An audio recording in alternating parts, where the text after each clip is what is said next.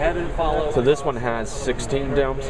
Right. So Okay. that we, we introduced a virtualization platform, the 495, Right. uh, late 2008, that came with two Flex 10 NICs, 16 DIMMs, but we lost the function of hot plug hard boot. Right, because they, they, they were moved to internal. Right, they were solid state. Yeah. It was a boot from somewhere, Blade. Right. right.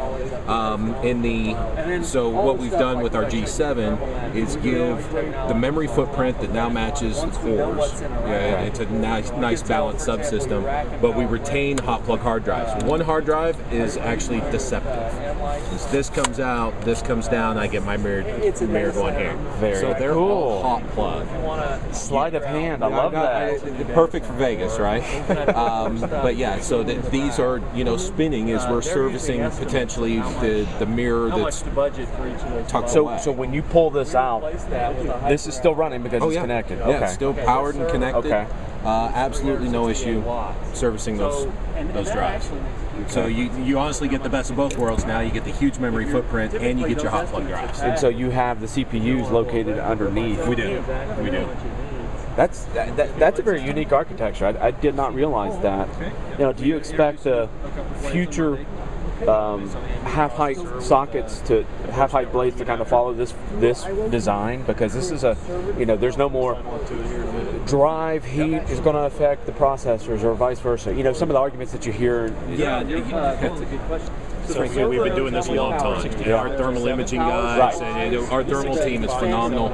Um, it all depends on the, the processor package, what the wattages are. The AMDs are typically lower wattage, so it lends itself to more of a more of this kind of uh, architecture where you're able to get that many DIMMs and and the hard drives. Um, given the G7 Intels don't necessarily have this type of layout, uh, I'm not quite sure if the thermal guys were able to get that format uh, to work. one conversion at one adapter on the 465. There's two on the, the So, show me some of the, the features of the 685 since we've got it here, if you don't mind. Not at all. device. Uses the same drivers you would from HBA, as well as a Flex 10. So, uh, 685. Um, so, great thing about this is So- it's a four-way and still a full height package.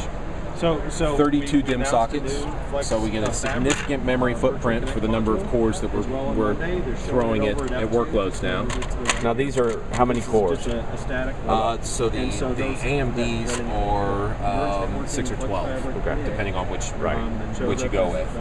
Uh, 32 DIMM slots, so we give it you know, half a terabyte of RAM, whatever.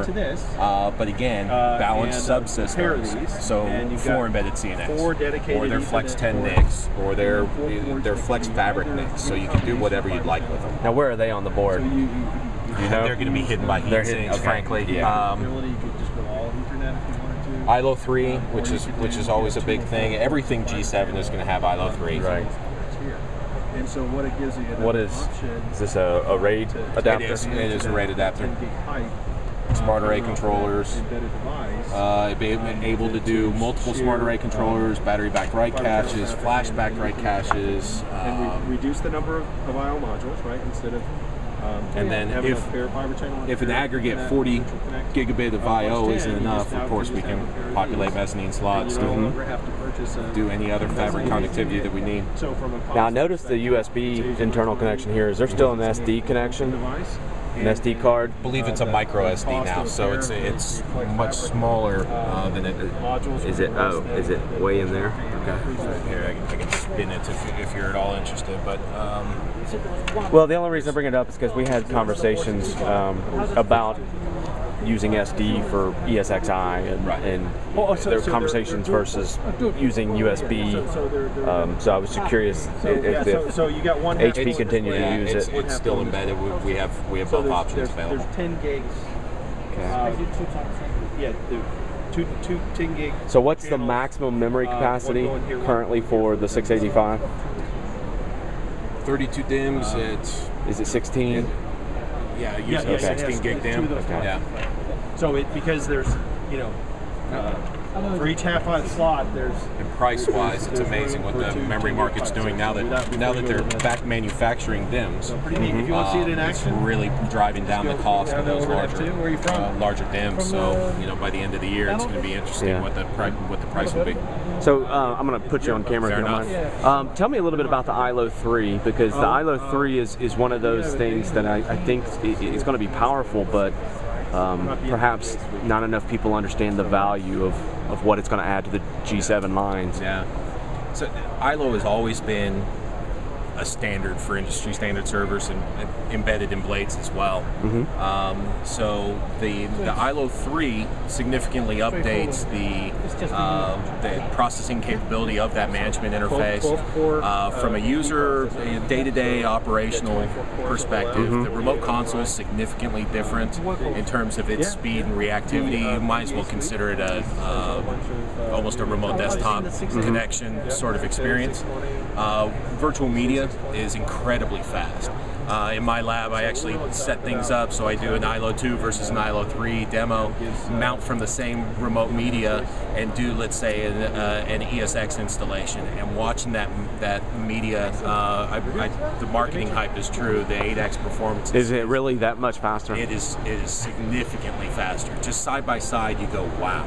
Now, is that just software thing? You know, where the programmers redid the code, or, or is there No, some no, secret it- sauce behind that? The ASIC actually changed as well. Okay. Yeah. Okay. Yeah. It, uh, that's why it's ILO 3 versus ILO 2. If Right. it were just a firmware enabled thing. Right. We could retroactive, but where we did change the ASIC. Okay.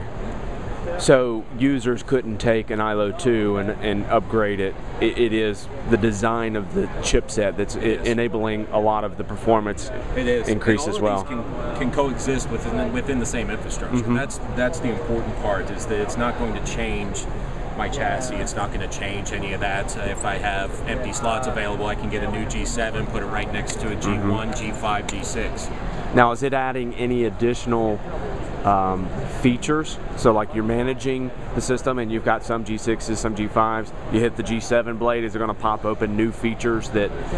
I think we've surfaced some things that haven't really been well known. Mm-hmm. Uh, I like to call it the DVR functionality. Uh huh. You know, where uh, if I want to watch and a, a rewatch a crash, nobody's ever actually at a console when the system crashes. Right. So you go, what the heck happened? You have to go pore through logs. Sometimes the visual of what happened is important. Right. So to be able to record those, uh, share a console with people worldwide, anybody with access to it can can come in. You can collaborate uh, over the same same virtual media.